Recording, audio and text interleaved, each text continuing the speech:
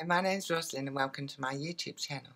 My channel is all about social media and digital life skills, so if that's something you're looking to learn then you're in the right place and I'd love to have you subscribe to my channel. Today's video is on Apple Notes app and it's a look further into the app and what it can do. I've previously done a video on the Notes app so I'll link it up in the cards up above here and you can watch that one first if you're not too familiar with the app itself. But today I'm just going to cover a few other tips and tricks that I didn't cover in the first video to give you the full understanding of how the app works. So let's get onto my phone and start the video. Now if you have more notes in your Notes app that go onto a second page, you're going to have to scroll every time you want to get to the note that's at the bottom. So this way we're going to pin a note to the top so that every time you go into your Notes app it's the one at the top, particularly if you're working on a project. So all you need to do is just slide the note from left to right and you'll get a little box that says pinned. If you click on that, it will pin it to the top of the note so every time you go in, regardless of your settings, it will be pinned to the top of that folder. So if you want to unpin it, you just click on the actual note itself and it will bring up varying different options and the top one says unpin note so just click on that and it will put your note back into the order that you have within your settings menu.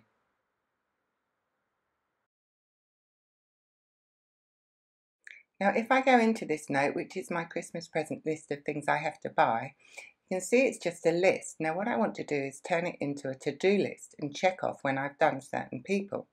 So if we click on the screen, that is then going to activate the keyboard for me. So just click and it will appear and now I want to select my list. So I'm going to go to the top, I'm going to hold my finger down and click on select and drag the circle down to the bottom until I've got them all selected. Now in the middle, at just above the keyboard, there's that little tick in a circle. If I click on that, it's going to turn it into a checklist for me. So now what I can do is, as I'm shopping and I'm buying presents, I can tick them off on my list to say that I've actually done those. So just clicking away again now in the screen anywhere, it then offers me this choice if I actually want to enable the automatic sorting, and I do. So here I can see that the first Christmas present that I've bought, I can just click on this circle and it will input a tick for me to tell me that I've actually done that present and I don't need to worry about that. And once it's ticked, it will then move to the bottom of the list. So all the ones that I still need to do are showing me at the top. So this is a very good way of keeping up to date with what you're doing and where you are in buying your Christmas presents or whatever list you might be you might have here in your folders. And what I like about this is it doesn't actually delete the ones that you've done. It still leaves them there, but it just lets you know that you've completed that task and you can move on to the next one.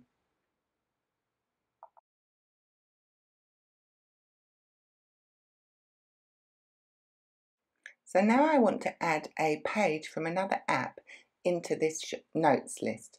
So you can see I've got my Christmas food shopping list just under my present list. So what I want to do is I want to go into Google and I want to search for a menu and a recipe of how to cook my turkey. My turkey is in my food shopping list. So I want to attach the recipe for cooking the turkey. So what I'm going to do is I'm going to go into Google and I'm just going to search for how to cook a turkey. And I'm just going to scroll until I find the recipe that I like. And I find one here that is from uh, Jamie Oliver. I'm just going to scroll and have a look at that's the one I definitely want to use. So once you find the page that you want to attach to your note you want to click on it and then you can have a look at the recipe that you're thinking about using in your note to cook your turkey. So just scroll until you find the recipe you want. And I found one here that I'm going to use, which is from Jamie Oliver. So I'm just going to check that the instructions are correct and I understand what I'm supposed to do. And this is the one I want to embed into my notes. So once you've found the page, you'll notice that at the bottom there's a square with an upward arrow in it, which is your share icon. So you want to click on that and then that will ask you where you want to share it. Now there's varying places you can share this. You can airdrop it somewhere, you can email it, you could send it to somebody else if you wanted to recommend this recipe somebody else to use. But what we're doing here is we want to embed it into our notes for how to cook the turkey, into our Christmas food shopping list. So you'll see that it's not actually giving me that option straight away. I need to click on the more to bring up that option of the notes. So just click more and it will give you some suggestions here and you can see that notes is the one. So click on notes and then it's going to ask if you want to set up a new note or you want to embed it in one of the ones that you've already made, which I do. So I'm just going to double click on the Christmas food shopping list and it's going to embed it in that note for me. So now when we go back to our notes list, you can see the Christmas food shopping list has got the turkey screen next to it. And if I click on it and go into it, I can see the screen is there and then I can click into the turkey picture and it will show me the recipe. So that's all in my notes app, all under my shopping list. So looking at our notes, we actually see that they're listed and we can also see them in a different view if we like. So if we just put our finger on the screen and drag it down, you'll see that under the Notes tab on the left, there's a orange little box with squares in it. If we click on that, it will then turn the notes into little pictures. So if that's the view we want, we can choose that. Or we can sort by the title or sort by the date and change the way that the Notes app is showing our notes to us. And we can also click on the search bar and we can type something here into the search where it's going to look through the notes.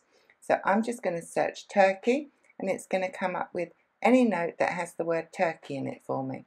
So I can double click on either of those and it's going to take me into the individual note.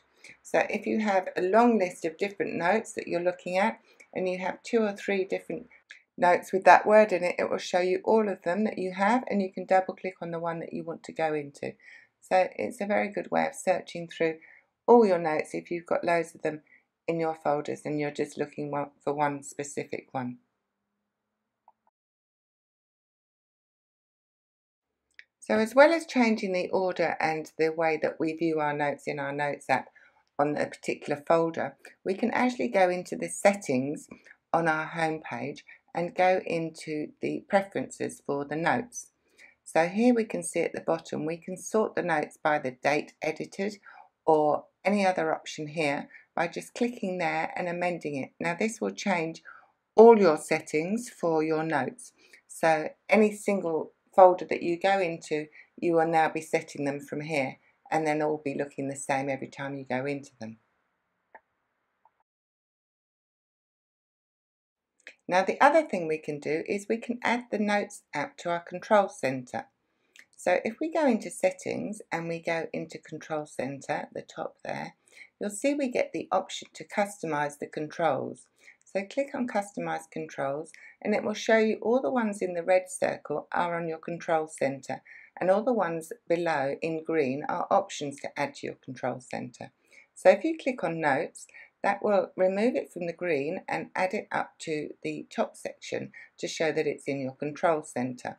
So now what you can do is you can swipe up from your home page to get to your Notes app instead of having to unlock and go through your Notes app the usual way.